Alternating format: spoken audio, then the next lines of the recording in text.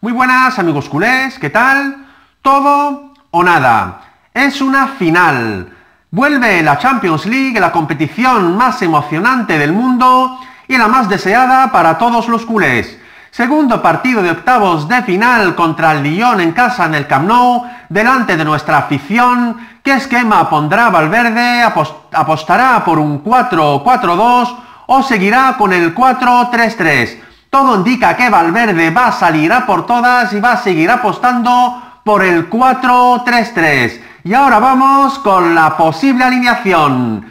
Ter Stegen en la portería, Sergi Roberto de lateral derecho, pareja de centrales Piqué y Lenglet y el recién renovado Jordi Alba jugará de lateral izquierdo. De volante estará Sergio Busquets, en el centro del campo estará Rakitic acompañado de Arthur, Coutinho estará de extremo eh, izquierdo, ya que Dembélé, por desgracia, por su reciente lesión lo tiene casi imposible. Messi jugará de media punta y en la punta estará Luisito Suárez.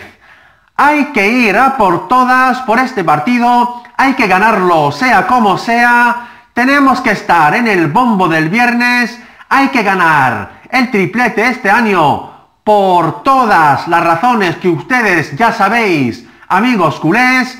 Esto ha sido todo por hoy, amigos culés.